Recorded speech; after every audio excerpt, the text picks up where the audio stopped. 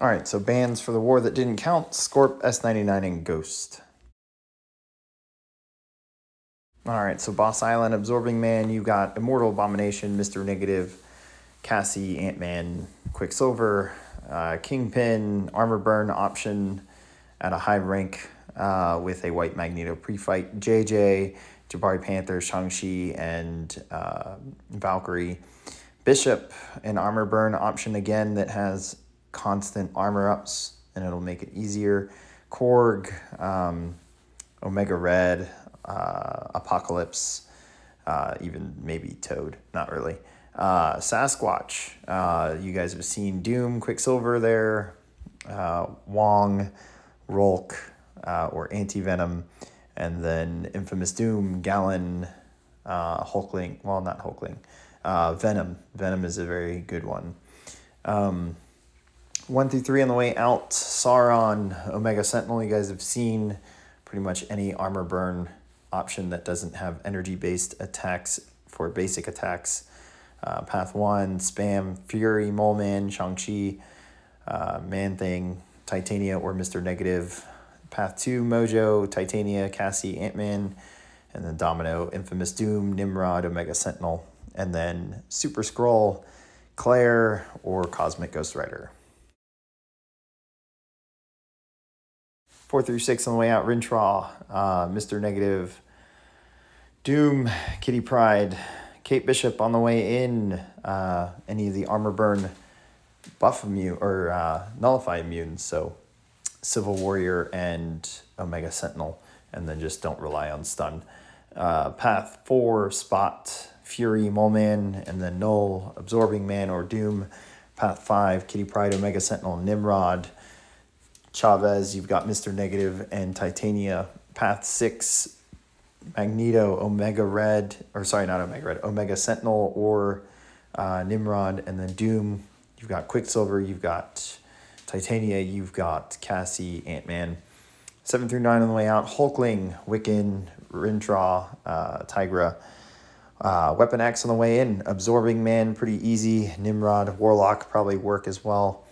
Uh, Path 7, Mole Man, Omega Red, or Apocalypse, and then with Apocalypse, Nimrod, or Omega Sentinel. Path 8, Storm Pyramid X, Nimrod, or Omega Sentinel. And then Gorr, you've got Rintrah, Tigra, uh, Wiccan. And then Path 9, um, Cersei, slap on Odin Shock pre fights, and go in with uh, Tigra, go in with uh, Rintrah, go in with Wiccan.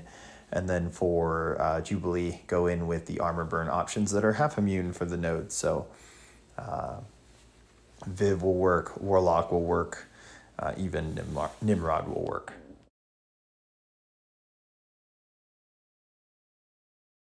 One through three on the way in, future Ant Man, you've got Hulkling and you've got Magneto, Maw, Middle Mini, you've got Quicksilver, Mr. Negative, Titania, uh, Zemo, you've got Colossus, probably even future Ant Man. One through three on the way out, Longshot. You've got Titania, Mr. Negative, possibly even Quicksilver.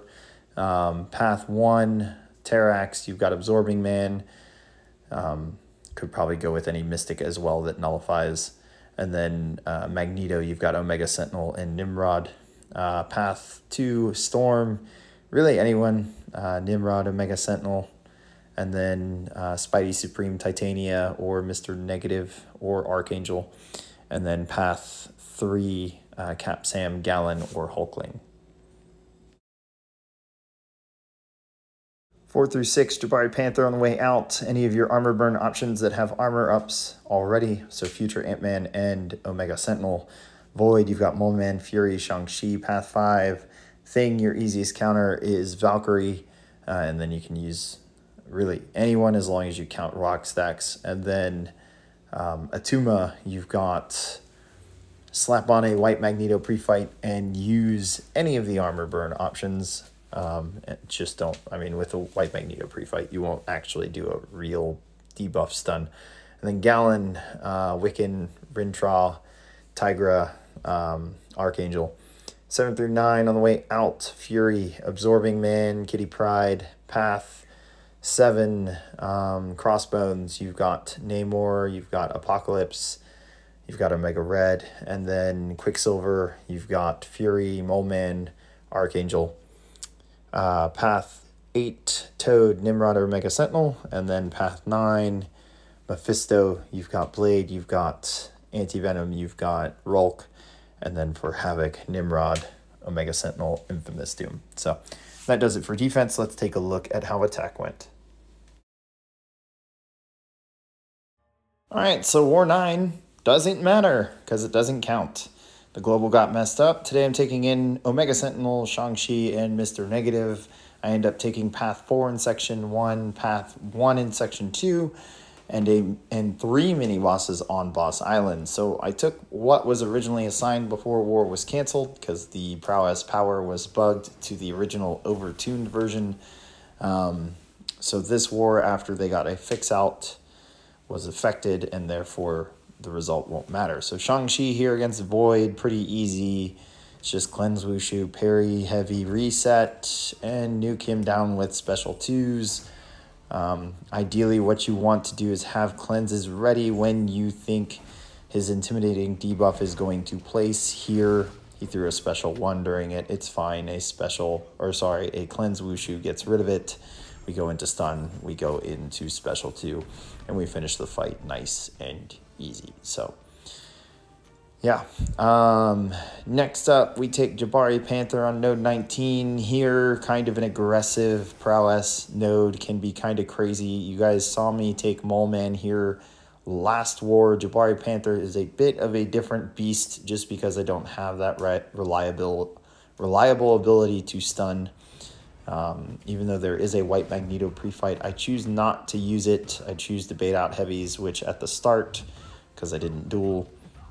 Was a little bit rusty and slow off of her heavies, so we get attacked here, but nice thing, of course, is that we're using Omega Sentinel, so if we do catch a bleed, it just means a regen instead of a death. Um, so yeah, once we get the hang of the heavies, it ends up being bait heavies combo, full combo to remove all prowess. We found out last war that if I have five or more armor ups on myself, I can remove up to five prowess effects per hit. So that's a nice little thing to know, especially for a node like this where it's got aggressive prowess. So if it gets out of hand trying to bait out special attacks and her being stubborn, um, then we have that nice little safety net of being able to rip off all power gain pretty much in two or three hits, um, especially for this node, obviously. So pretty simple fight. I don't end with mediums, even though I could. The cleanse disappears before I finish my combo, so I could slap a heal block on. Uh, it just did not seem worth it. Didn't seem like the proper strategy. Just felt like the proper strategy was to retaliate heavies, throw special attacks for our ebb and flow knockdown trigger, uh, and then just kind of pulverize her down. Now, with the nature of my team, it would have resulted in suicides on and off if I really cared about fights like this, having that extra 60% damage. Um, but I think this would have been a fight, considering it falls between Mr. Negative and Shang-Chi fights, that I would not have turned them on. However, some of my later ones, it's going to be apparently obvious that they should have been on. So, pretty long fight. We're not max boosted either. We're missing about 25% in boost damage compared to a normal in-season war. So, down goes Jabari Panther. Next, Path 1, Section 2, Spam here. This is mainly what Shang-Chi came for. You can take Void too. So here we're going to be focusing on just the slow Wushu, heavy resets when we are close to or ready to throw Special 2, or sorry, not the cleanse Wushu, the slow Wushu, then heavy resets. When we are close to a Special 2 and ready to throw it, we're going to cleanse Wushu in case we get any poppers on ourselves, since Spam will be building nonsense charges as we build the special 2 once we get special 1. So hitting him while stunned does give us poppers. Um, so cleanse into special 2. And then it gets a little hairy here. He decides to light attack me, and I'm not ready for it, and then throws a special 2 into my block. But not really a worrisome node. Um, obviously, that all of that would have been an issue had we been on path 4B. Um, but spam here, pretty much a joke. Uh, it does, although, force a counter if you don't send someone that you can just spam special ones with. Mr. Negative War starts here with Man Thing. Would have started on 23 Mom, but I missed the opportunity. Man Thing here is just a chump with Mr. Negative. Um, taken Man Things since Mr. Negative came out on plenty of nodes that try to nullify buffs. So it's just parry heavy twice, parry, evade counter, bank that light energy is dark. Full combos, we build a special two, maybe bait out his special one if he decides to throw it. But outside of that, we're just going to parry heavy. Throws it here, good. We're going to parry heavy, I believe, one more time. Then we're going to parry evade counter into special two after a combo. It's going to give us a buttload of degen since we have the Shang-Chi synergy. So that's where the additional degen ticks or debuffs came from. And then down goes Man Thing. Super easy fight. Next up, Sauron here on our usual 46 node high energy diet using Omega Sentinel, placing the heal block pre-fight. We will not have special attacks here, so it's just maintaining a heal block debuff at all times especially with Sauron since he has his own regen passives which count towards reinvigorate, which will lead to unblockable if we do not keep heal block on while those regens trigger. Um, so, I mean, pretty simple fight here. Full combos and with mediums. Um, I don't really focus on pausing ever. It's kind of a waste. Uh, you can actually squeeze in enough combos and if it looks like a heal block is going to end too soon to do a five hit combo, then you just do a medium medium or a longer but shorter combo. Um, so yeah, uh, we are on point with our special one dexes here. So that's very, very helpful. Um, and he's willing to throw them after a couple hits into his block. But power gain a little bit more compared to Bishop that we've had here. Uh, it probably has to do with the fact that it is a seven star. So some sort of combat power rate is at play here. And I don't think we've faced a rank 5 bishop there. And it would take a rank 5 to get the full combat power rate there. But easily down goes uh, Sauron. So here we experiment a little bit. I was the first on the boss island, had Mr. Negative. Always thought about taking a Mystic here on MIA with Mr. Negative. Obviously, the fear sometimes is unfazed. Um, but I figured Mr. Negative throwing heavy attacks and special twos pretty much counters the whole falter business um, when a buff expires. So I'm treating this like a normal Mr. Negative versus Sasquatch fight. I'm going to parry heavy. I'm actually going to parry heavy three times, I think. Yep. I'm going to block bait and attack to evade counter the second hit I'm going to combo as we build to special 2. I'm aware that Vigilance has triggered now that I passed a bar of power. So I'm keeping my eye on the timer, getting ready for the cooldown on me. Here I want a heavy, he backs off, so no parry. And there that parry is too late to transfer to him. So we eat a special one. That converts our lights to dark for us. Fantastic. We throw the special two and he starts to melt. Sasquatch though, rank five and a big boy um, is not going to go down from that set of degens. It's not a big deal. While this is going on, we are just waiting out the wrath. I evade counter there because we had built up enough light energy to get prepared for our next special two. Another vigilance show up shows up, so building our second set of light as we get ready for special two number two. Here we go, block bait and attack. Oh no, wait, we're gonna parry heavy transfers it to him, and you're going to see a very unique evade counter miss. So it converts it without doing the evade counter action. We go into special two. My brain actually hit like a speed bump there. I was not sure what was going on, but I went through my usual habit habit of being attacked while faltered and then evade countering. And then here we just get messed up by a couple more falter triggers. So yeah, um, compared to any other time I've used the champion there, Mr. Negative was actually pretty chill. I was not stressed there. Decide to take this bishop, another fight that wasn't assigned to me. We don't have a white Magneto pre-fight, so we're not going to rely on the parry. I don't place the heal block debuff. We're not going to place any debuffs on this. We're just going to do full five-hit combos ending in lights. Um, we're going to shorten that when Bishop gets the one bar of power so that we can push him to special two.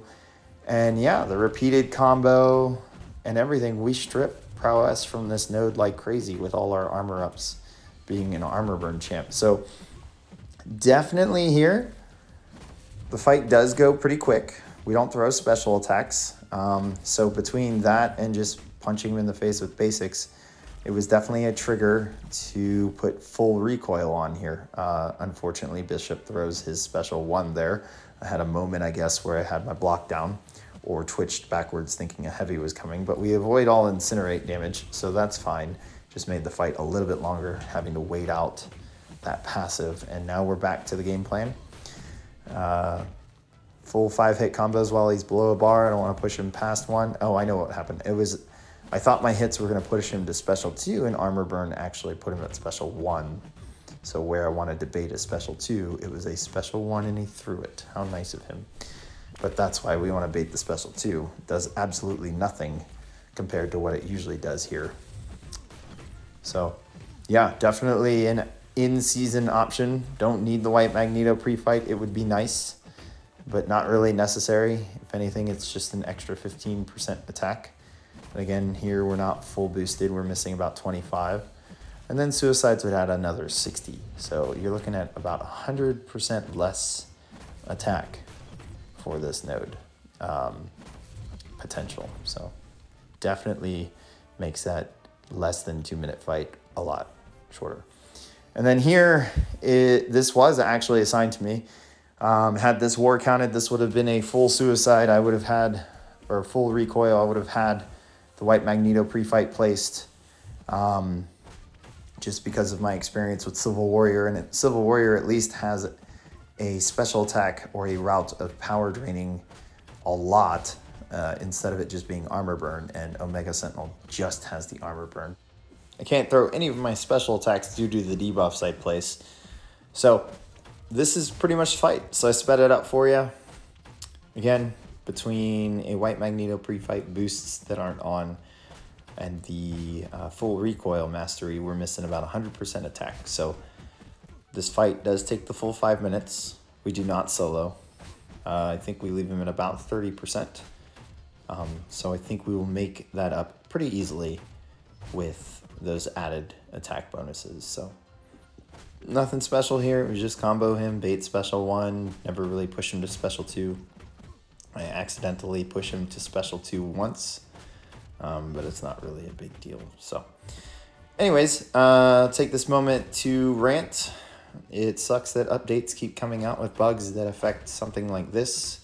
And instead of the war season being canceled, we do have somewhat of a good alternative as to being bumped in rewards at the end of the season with where we finish. However frustrating it might be that the calculations might not be right at the end of the season. And then on top of that, uh, for anyone who got banned today and are a part of the bans that have been recently going out. All I have to say is, uh, and for those who are still doing sketchy, cheating things, um, you will get yours. You will get yours. So, hope you guys enjoyed this video. Uh, yeah, one more week of the season, apparently. Uh, hope you guys learned something or this was helpful. I definitely enjoyed taking uh, Sasquatch with Mr. Negative, so that was pretty eye opening. And then a couple Omega Sentinel fights that can probably assi- be assigned in future wars. So hit subscribe, give it a like. I will catch y'all at the next war.